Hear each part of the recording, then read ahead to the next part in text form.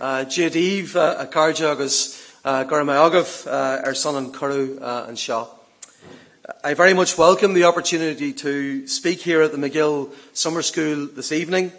It is a privilege to do so, and I thank the organisers for the invitation.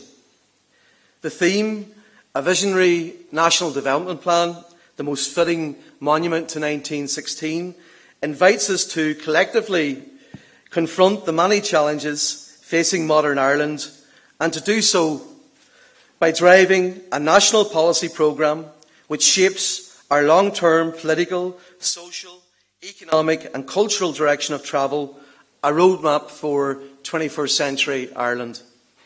As a proud Donegal and Ulsterman and a Republican TD, you can imagine I have much to say on the type of Ireland I want to see for the future, both as an island and as a nation.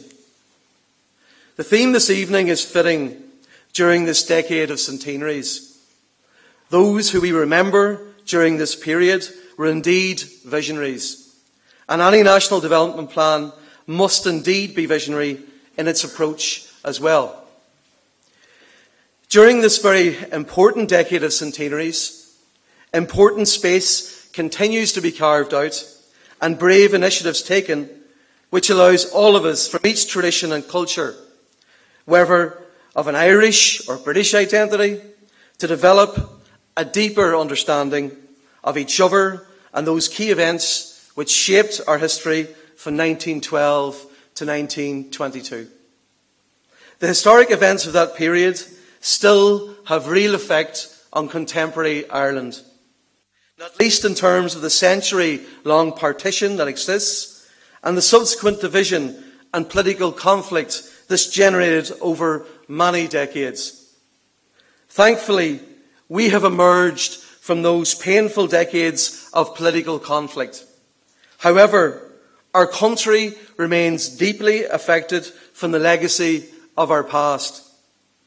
Post conflict peace building, democracy, and recovery efforts are essential to achieving a just and lasting peace. We may never come to agree a shared narrative of the past, but we must share and build a new future together.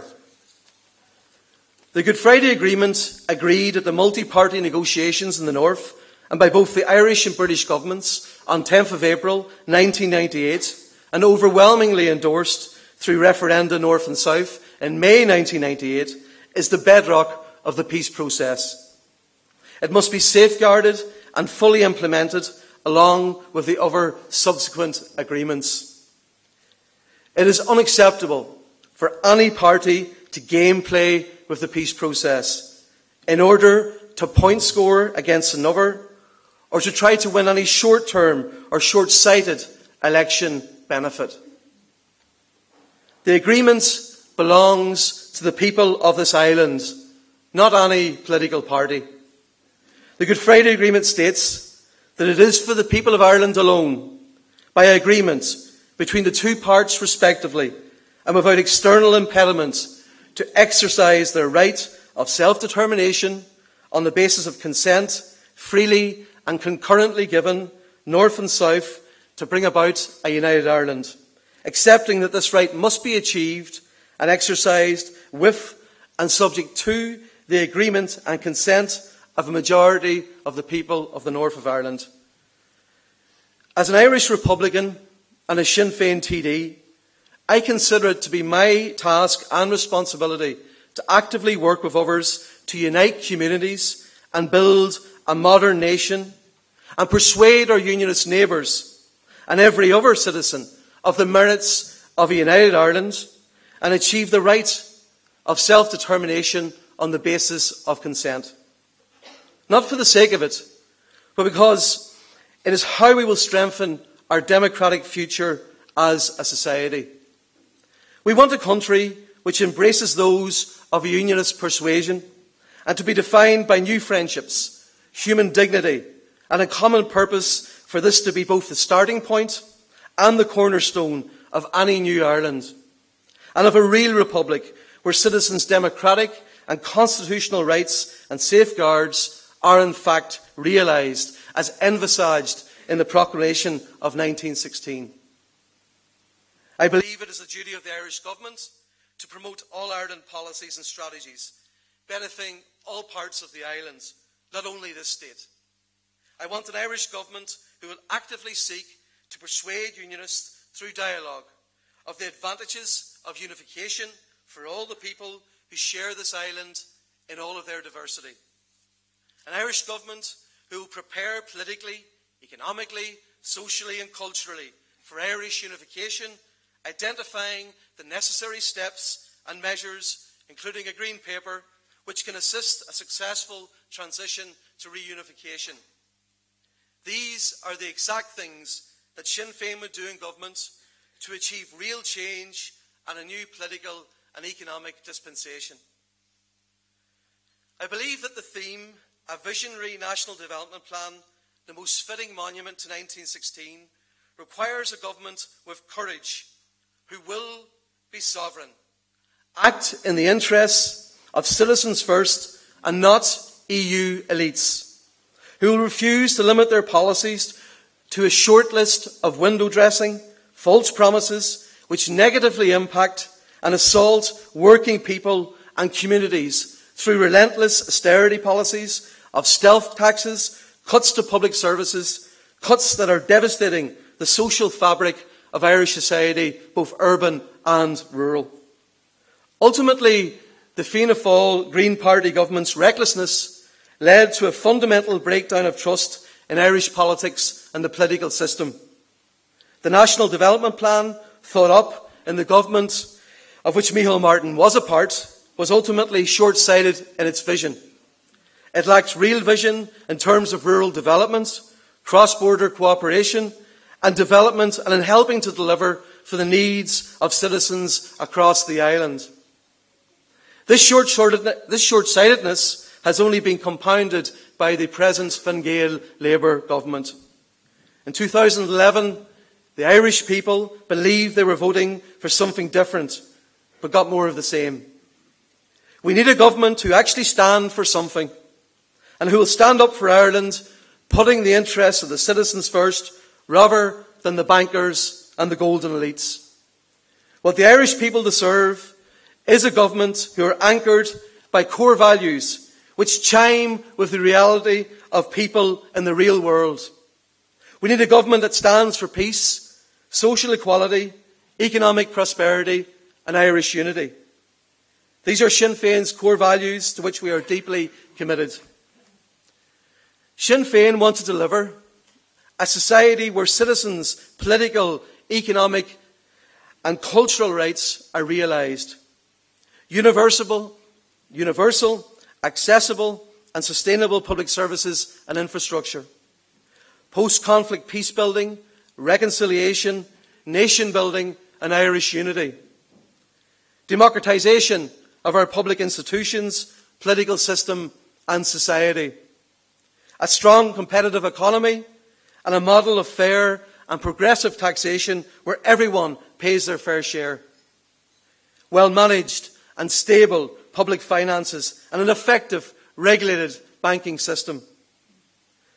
That means that in government, Sinn Féin will abolish water charges. We will scrap the property tax.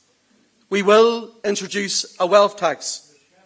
We will bring in a third rate of income tax for those individuals earning over €100,000. That's seven, seven cents on every euro over €100,000. And Sinn Féin will take a further 200,000 people out of universal social charge. We will deliver on rural development. We will deliver on All Ireland projects and continue to make real progress in the Assembly, rather than merely paying lip service to the North while resorting to party political attacks in the Dáil chamber, like some up here on this uh, platform would prefer to do. We believe that a fair recovery is possible, which must be built on real investment in real jobs. Foreign direct investment is an important part of the economic mix for the island of Ireland, but our SME sector is the greatest source of future job growth. The economic crisis and austerity policies of Fine Gael Labour, and Fianna Fáil before them have forced half a million of our people to leave. Immigration has been used as an economic valve which is turned on and off. This has been disastrous. And there's very few counties that know more about that than here in Donegal. Another generation of our young people driven to work in places like Australia, Canada, America, Britain, rather than here beside their families. T.K. Whitaker was without doubt a skilled and visionary public servant and economist who played a critical role with Sean Lemass in the new economic planning model adopted by Ireland post World War. He was born in 1916 and is certainly an Irish patriot in his own right. He understood the emerging realities confronting Ireland going forward in the 1950s, which was at the time suffering massive unemployment, economic stagnation, forced immigration, and obvious low living standards. A problem solver, he recognised the decline of protectionism and growing economic cooperation as a free trade, and therefore steered the economy from further economic stagnation through his programme for economic expansion in 1958. However, 50 years later, and by no fault of Mr Whitaker, the Irish economy collapsed rather than consolidated under the stewardship of the Fianna Fáil Green Party government, including Micheál Martin. Through a conservative and neoliberal policy of relentless austerity, Fine Gael, supported by the Labour Party, are taking the states, yes, to a post-crisis situation, but it's a two-tier recovery, which serves the one section of society over another. Because Labour have abandoned their promised social democratic model and core values, which should anchor their approach, they are failing to rebuild the economy on the basis of a progressive, fair, or sustainable socio-economic model. At this critical juncture, an alternative is now required. If we are intent on devising a visionary plan which is based on economic reality and sound policies as a fitting monument to 1916. We need new economic thinking, new ideas, and an honest and coherent political approach. An integrated and sustainable policy plan based on core Republican values and guiding principles can deliver this as a fitting monument to 1916. This means a truly visionary de- development plan and democratic programme for a new Ireland.